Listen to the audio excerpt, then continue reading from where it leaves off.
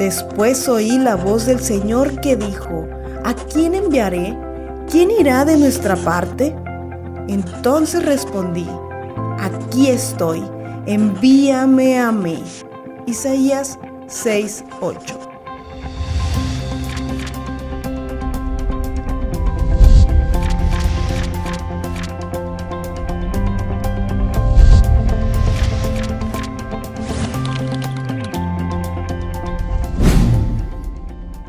Hola, sean muy bienvenidos a un episodio más de Escuela Sabática Universitaria.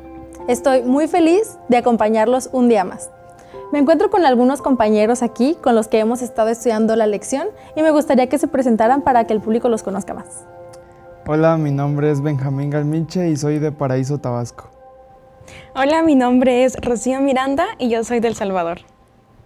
Yo soy Jair Delgado Gutiérrez y nací en Tampico, Tamaulipas, pero fui criado en Baja California Norte. Yo soy Valeria Merino y nací en Tijuana, Baja California. Bueno, para comenzar con este estudio me gustaría que nos dedicáramos a Dios, así que ¿nos podrías ayudar a orar, por Así favor? es, vamos a orar. Querido Dios, en esta hora nos queremos poner en tus manos para que nos puedas guiar en el estudio de esta lección. Queremos que usted sea el invitado de honor en este programa y que usted pueda dirigir todo, Señor, y que pueda salir lo mejor, Señor, y que pueda poner las palabras necesarias en nuestras bocas. Bendice a las personas que nos están viendo a lo lejos, cuídalas y bendícelas en todo momento. En el nombre de Jesús. Amén. Gracias por recibirnos con la oración. Excusas para eludir la misión. Hoy vamos a hablar, y esta semana, durante esta semana, vamos a hablar de un personaje que las excusas no le faltaron para nada. Y este personaje es Jonás. No todas las personas de la Biblia a las que se les encargó algo o tuvieron un llamado decidieron abordarlo de la mejor manera. Y un ejemplo claro de esto es Jonás. Nosotros conocemos un poquito el contexto de Jonás. A Jonás se le pidió que fuera a Nínive, que fuera a predicarles la palabra de Dios a estas personas. Y sabemos que era la capital de Asiria y sabemos que eran malos. Y que él no quería ir porque él no quería presentarse ante esta gente mala. Pero ¿qué tan malo era ir? O sea, realmente, ¿qué tan malo era ir? ¿Qué le causaba a Jonás toda esta ansiedad o perturbación? ¿Qué excusa era la perfecta para haber viajado aproximadamente un mes al lado contrario de Nínive, que eso menciona la lección, que realmente él viajó aproximadamente un mes para no ir.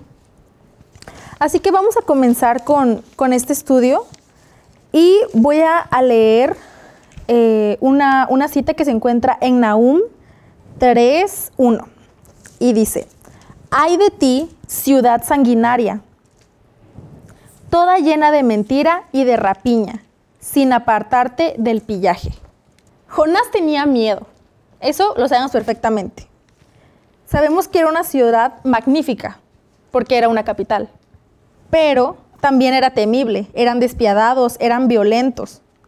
Pero muchas veces se nos olvida que este tipo de personas son las que más necesitan conocer del amor de Dios. Así que vamos a cambiar un poquito de escenario y me gustaría que me comentaran como qué podrían rescatar del miedo que sentía este Jonás, por qué habrá huido, cuál era su temor. Pastor, ¿qué nos puede decir sobre esto? Bueno, eh, Nínive era una ciudad imponente. Dice aquí los comentarios de la lección que el, el palacio, que estaba al suroeste de, de, la, de la, ciudad, eh, medía 503 metros por 242 metros y constaba de al menos 80 habitaciones. Uh -huh. La ciudad eh, estaba eh, distribuida en aproximadamente, dice, eh, en, en, una gran región. La construcción, bueno, la fama de los asirios eh, era muy grande y cuando llegaron a Nínive... Eran sanguinarios. Eh, dice que eran sanguinarios, que la, las calles literalmente... En las guerras. En las guerras... Estaban muertos cadáveres. Cadáveres. En lugar de calles eran cadáveres por aquí, jóvenes, adultos, niños, de todo. Sí. Y dice que ellos acostumbraban a empalar a sus víctimas. Así que sin duda todo esto era conocido, era esa ciudad Nínive era sanguinaria y cuando supo Jonás que iba ahí, dijo, no, no, yo no voy ahí. tuvo miedo, tuvo Sí. temor. Yo también quiero rescatar de esto del temor, de, bueno, miedo de Jonás. Es que así como Jonás tuvo miedo a cumplir una misión, nosotros también en, al- en algún punto de nuestra vida también podemos tener miedo. Pero lo que pasó con Jonás es que Jonás dejó que el miedo se apoderara de la misión y el propósito que tenía por cumplir en la ciudad donde Dios le estaba mandando a ir. Entonces lo que nosotros podemos tomar de la historia de Jonás, de la vida de él, es que no, que no permitamos que el miedo eh, pueda distraernos del propósito que Dios tiene para nuestras vidas. Aunque el miedo se apodere de uno, ¿no? Para no hacer caso al llamado de Dios. Sie- seguir siempre, pues, eh, el llamado de Dios, no dejarnos controlar bajo el miedo. Sí, sí, sí.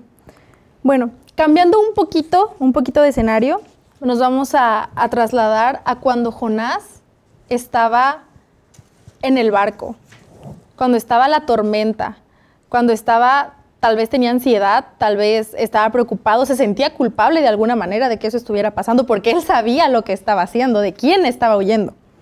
Pastor, ¿nos podría ayudar a leer Jonás 2, 1 al 3? Ok. Jonás 2, 1 al 3 dice, dijo, en mi angustia invoqué al Señor y Él me oyó. Desde el seno del sepulcro clamé y oíste mi voz. Me echaste en lo profundo del mar, me rodeó la corriente, todas tus ondas y tus olas pasaron sobre mí. Este texto nos dice, eh, es parte de la oración de Jonás y expresa su sentir. El sentir de Jonás es angustia. Pero en medio de la angustia hizo algo bueno Jonás. ¿Y cuál fue? Invocó el nombre de Dios. Así es. Invocó. ¿Cuántos de nosotros no hacemos lo mismo? no? En medio de los problemas, dificultades, de la angustia, donde vemos que no hay ninguna puerta abierta, invocamos, nos acordamos de Dios. Por lo menos eso es bueno, ¿no? Que nos acordemos de Dios en esos momentos. Y entonces dice, me, encanta lo que dice, y oíste mi voz, la respuesta de Dios a tu angustia, a tu desesperación. Qué bonito, ¿no? Porque, bueno, vemos eso y vemos que clamó y oró y exclamó y se arrepintió, pero realmente más adelante vemos que eso no hizo que él cambiara su actitud. O sea, y muchas veces hacemos lo mismo nosotros. Con las situaciones que acontecen en nuestra vida, es muy fácil clamar y es muy fácil estar en una situación difícil y clamar y pedirle a Dios. Pero después, continuar con esa misma actitud es complicado. Sí, así es. Cuando nos sentimos en problemas o en dificultades es cuando realmente acudimos a Dios, no cuando vemos ya todo así mal, que todo no sabemos qué va a pasar. Es por eso es que nosotros acudimos a Dios. Y lo que hizo Jonás fue una excusa. Y después de esa excusa viene lo que fue su problema y después acudir a Dios mediante la oración. Y sin duda alguna es que eso igual se hace en la actualidad. Cuando nosotros tenemos una dificultad, algún problema, lo primerito que siempre hacemos es ir a la presencia de Dios para poder oír su voz y qué realmente tiene para nosotros, ¿no? Gracias, Benja, por este comentario tan acertado que acabas de hacer. Ahora vamos a ir eh, a un pequeño segmento para ver qué opinan las personas sobre esta pregunta. ¿Qué lecciones aprendemos de la historia de Jonás para nuestra vida?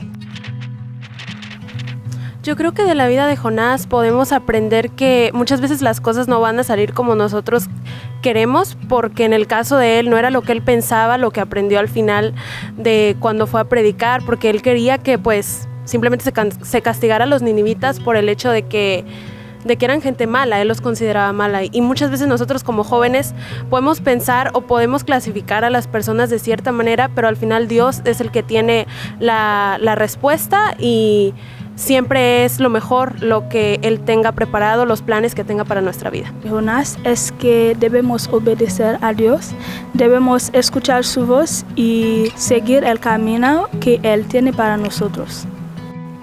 Yo creo que la lección más importante que podemos aprender de la vida de Jonás es la condición que nosotros debemos tener para obedecer los mandatos de Dios. A veces decimos, no es que yo me voy a entregar totalmente a Dios, pero cuando nos llega una orden o, una, un, un mandato de Dios, a veces nosotros pensamos, ¿en qué me va a beneficiar? ¿Si me beneficia más a mí o solamente lo vemos como una pérdida de tiempo? Como jóvenes creo que deberíamos reflexionar mucho en esta historia y darnos cuenta que los planes de Dios son mejores que los de nosotros. Qué importantes las opiniones que nos acaban de dar nuestros amigos, ¿verdad? Bueno, a mí me gustaría continuar este estudio eh, con, un, con un concepto que menciona la lección, que es un, un concepto falso. Dice, Dios desea que nos enfoquemos en nuestra salvación y nos alejemos de las maldades del mundo. Y realmente es algo que nos puede llegar a pasar más de una, dos, tres, cuatro veces en nuestro camino por, por ser misioneros o por intentar ayudar a las personas.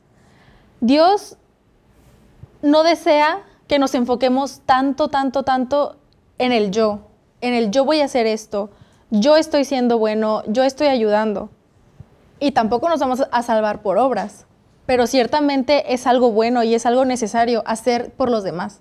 Así es, Valeria, así es. Eh, nuestra lección enfatiza que nosotros no somos los que le damos el éxito a la misión. Así es. Simplemente nosotros somos canales de parte de Dios para cumplir la obra que Él dirige. Es decir, Él tiene las riendas, Él tiene el control.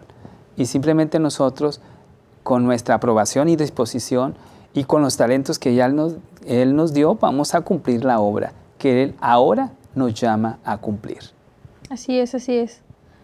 Bueno, vamos a avanzar un poquito en este estudio y me gustaría comenzar diciendo en la parte del martes que el miedo, como lo vimos al inicio, llevó a Jonás a tomar decisiones precipitadas, que en esta ocasión fue salir huyendo. Y eso lo llevó a terminar, pues ¿en dónde terminó? En un pescado. En un pez. En un pez, en una ballena. Y es que podemos ver la experiencia de Jonás y observar que aunque él había tenido un encuentro con Dios, como lo vimos en la, en, hace un momento, él clamó y oró a Dios. Y eso no hizo que él cambiara de parecer. Eso no hizo que él cambiara de idea. Nos vamos a ubicar en Jonás 3. Y aquí hay una pregunta. ¿Cómo respondió la gente a la predicación de Jonás. Cuando Jonás llegó ahí, y Jonás tenía una idea de cómo era Nínive, y que él llegara ahí a predicar, vamos a ver cómo respondió la gente. ¿Era lo que esperaba? ¿Se llevó una sorpresa? ¿Eran sanguinarios? ¿Qué pasó?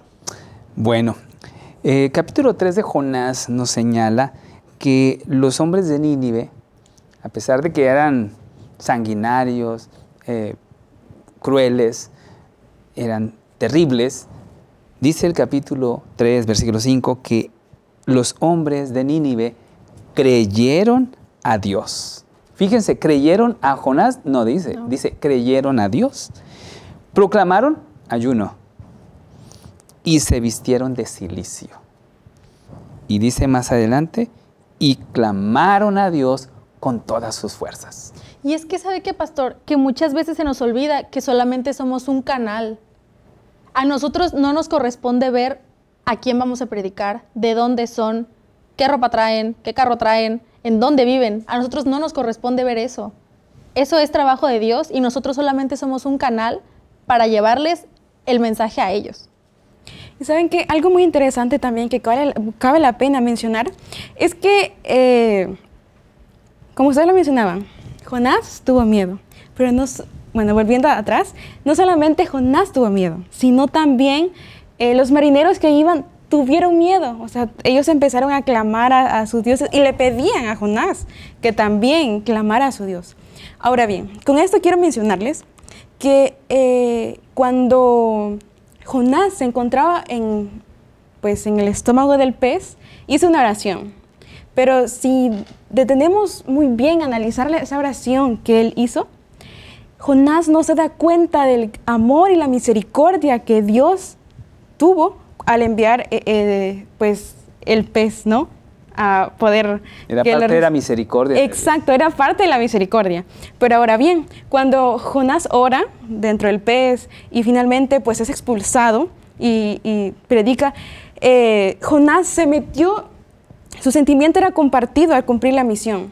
Pero, ¿qué pasa con esto? Jonás tenía prejuicios. O sea, él, a lo mejor Jonás no había llegado directamente donde Dios le había dicho que fuera, pero tenía prejuicios. ¿Qué quiero decir con esto? Que nosotros muchas veces eh, tenemos prejuicios de las personas. No, es que no voy allí por esto y esto, por esto y lo otro. Y empezamos a crearnos prejuicios cuando eso no es parte de la misión que Dios nos ha encomendado. Y justamente esa es la siguiente pregunta.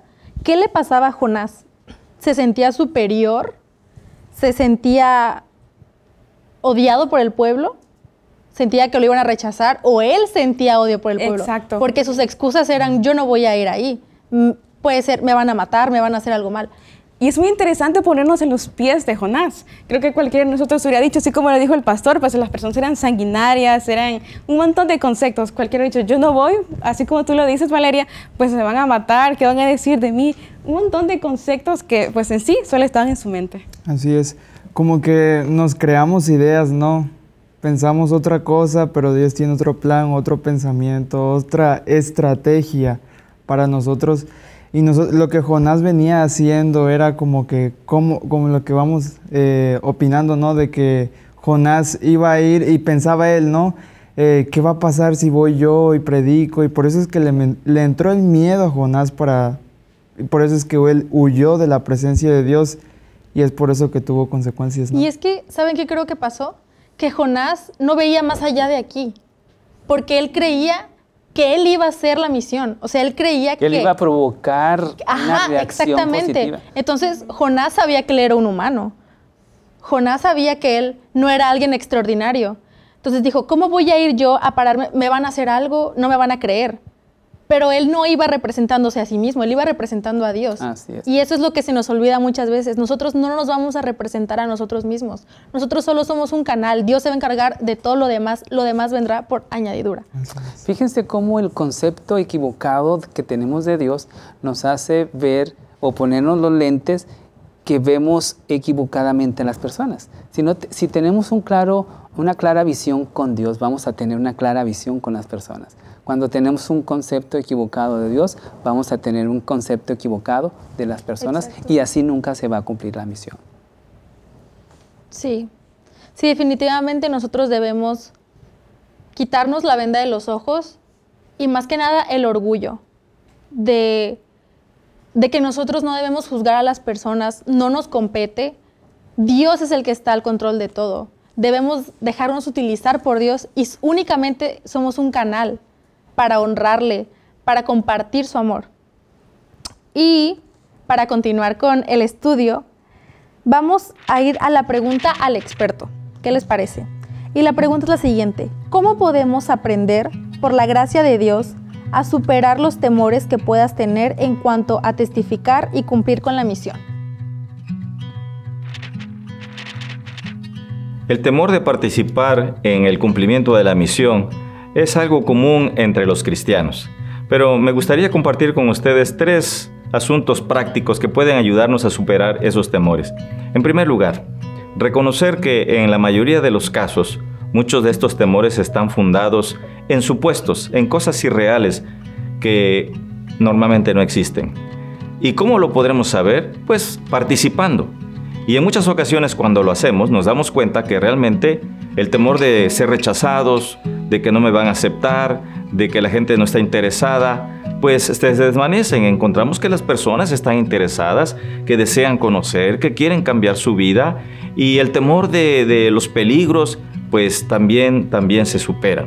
Ese es número uno. Los temores están fundados en muchas ocasiones sobre supuestos no reales.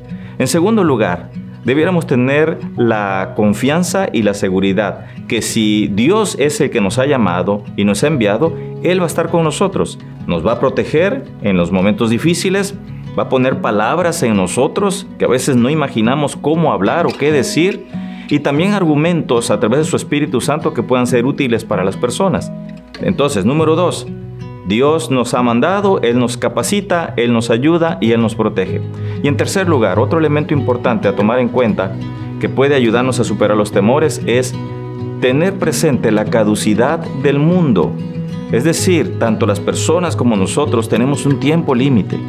Así como cuando hay una emergencia y, de repente hay que actuar por un asunto emergente. Hay personas que han hecho actos heroicos por salvar a alguien en un momento de emergencia. Así también nosotros deberíamos tener el pensamiento de que la vida de las personas es corta y también la nuestra, de modo que hiciéramos lo que podamos para salvar a algunos de las garras del enemigo. Agradecemos al pastor por su opinión y por los aportes que nos ha dado durante toda esta lección. Estamos ya en la recta final de este estudio y me gustaría continuar diciendo que los ninivitas atendieron el llamado de Jonás a, pesar de él. O sea, realmente Jonás no era un, no fue, mejor dicho, un buen testimonio, no fue una buena herramienta para que ellos vieran realmente lo que Dios tenía para decirles. Sin embargo, lo aceptaron y lo acataron. Y esto nos recuerda como les dije hace hace un rato, que únicamente somos canales. Debemos estar claros y conscientes de que Dios es el que hace todo. Él es el que hace las obras y solo nos utiliza. Eh, me gustaría, Benjamín, que me puedas ayudar eh, a comentar un poquito sobre Isaías 6, 1 al 8 y a contestar la pregunta, ¿cuál es la idea expresada en este pasaje? Sí, este, eh, como vemos en Isaías 6, del 1 al 8, en esta parte es donde eh, Isaías tiene una visión y el llamamiento que Dios le hizo a Isaías, ¿no? Porque eh, Isaías vio a Dios sentado en su trono, ¿no? Pero Isaías no podía creer, decía, ay de mí que soy muerto, ¿no? Porque siendo hombre inmundo de labios y habitando en medio del pueblo que que tiene labios inmundos han visto mis ojos al rey, ¿no? Entonces, sigue diciendo ahí que, que voló uno de los serafines hacia él y trayendo en su mano un carbón encendido, tomando del altar de los, con unas tenazas, lo pasó sobre su boca y dijo, he aquí que esto tocó tus labios y es quitada tu culpa y limpio tu pecado. Y quiero resaltar en el versículo 8 que dice, Después oí la voz del Señor que decía, ¿a quién enviaré y quién irá por nosotros? Esta pregunta es muy importante en nuestro día a día porque sin duda Dios la hace siempre y nos llama a cada momento. Y para aplicar esto en nuestra vida, cada vez que nosotros sintamos el deseo de que Dios nos llamó a hacer la misión que Él nos ha mandado a cumplir, hay que hacerla. No hay que dudar como Jonás lo hizo al principio y siguió dudando en medio de la tempestad. Él seguía pidiéndole a Dios en la tempestad, diciéndole, Señor, eh, ¿por qué pasa esto? Y los que estaban en el barco, ¿no? Diciendo, echaron la suerte y la suerte cayó sobre Jonás y luego a él lo arrojaron al mar. Entonces, eh, cuando pasa esto, nosotros tenemos que actuar de manera diferente siempre y cuando nosotros pongamos siempre en primer lugar a Dios. Y es ahí donde se cumple esa pregunta, ¿a quién, ¿a quién enviaré y quién irá por nosotros? Entonces respondí yo, heme aquí, envíame a mí. Sí, sí, sin duda alguna la incredulidad muchas veces es nuestro peor enemigo. bueno, ya estamos finalizando nuestra lección, que sin duda alguna nos ha dejado aportes muy grandes. Me gustaría que cada uno me comentara con qué se ha quedado en, este estudio. ¿Cuál fue su parte favorita? ¿Qué, le gustó? Pastor.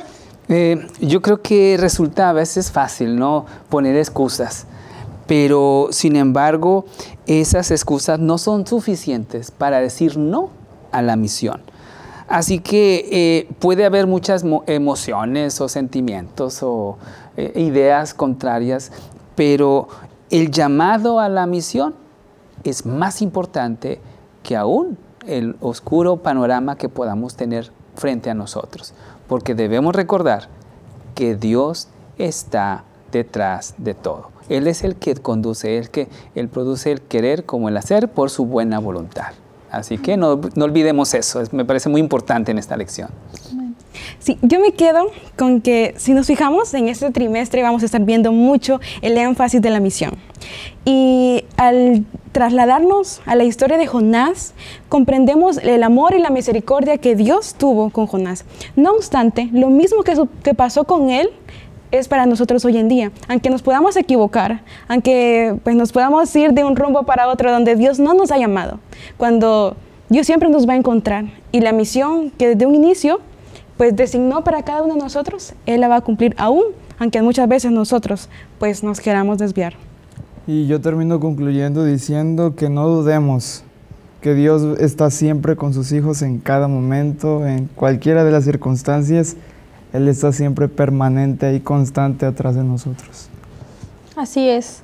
Y el pastor mencionaba algo muy importante que es sobre siempre atender el llamado. La incredulidad y las excusas nunca van a faltar. De verdad.